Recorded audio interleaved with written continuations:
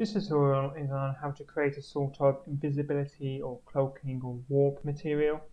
So the first thing we're going to want to do is we're going to want to go to materials and then material function. So we're just going to call this invisibility, visibility function. So then we're going to go into here.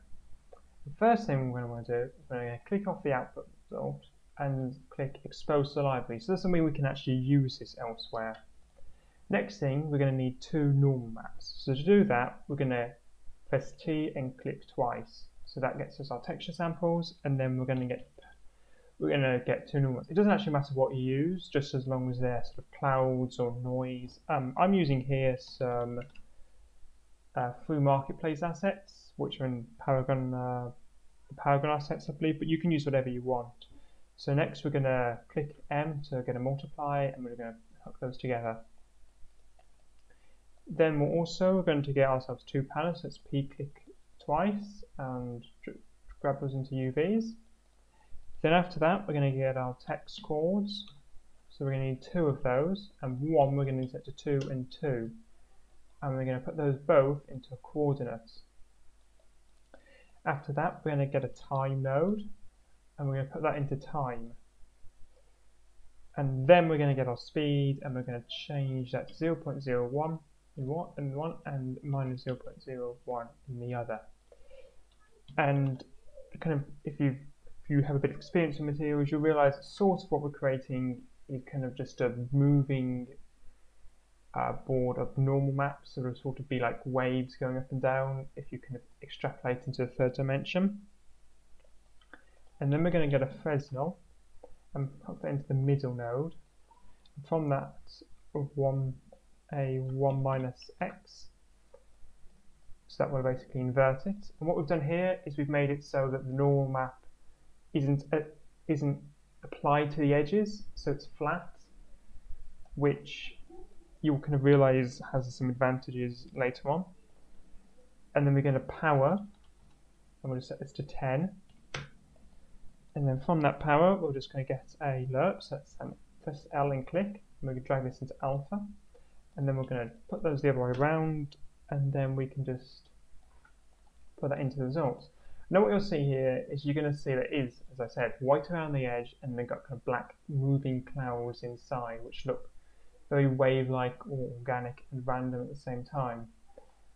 This is good, this, this will completely work. However, it's not such going to be very useful as we can only use it for one particular thing. So what we're really going to want to do is we're going to want to get some input nodes. So we get input, and then we have to change this from these vector3 to a scalar, and then we'll use preview value. This will mean that we can put an input value, but it will have a default value as well. And for this, this one we're just going to name it speed. And we're going to set the default value to 0.01, so the default is the x and we're going to drag this into the speed node here. And we're going to multiply this by minus 1 and we're going to drag this down to here. It doesn't matter kind of what you multiply that by for instance.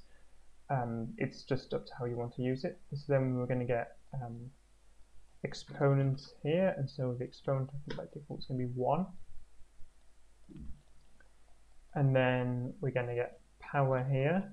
And that by default will be 10 and then we're going to get maximum here, so it's going to be 1, and then minimum here, which will be 0.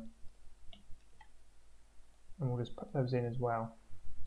So now you've created your material instance, not material instance, material function. Now we need to actually create the material. So we'll just create a material and we'll just call this invismath, for instance. And we'll just pull this up and the first thing we're going to do is we're going to set it from set the blend mode from opaque to translucent.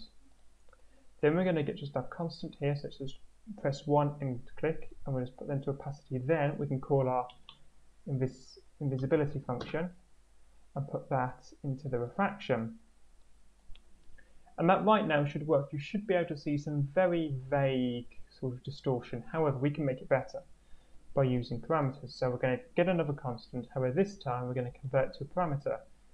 And we can call this exp, so we're just going to name the same thing, and the exponent's 1, and we'll just drag this into here.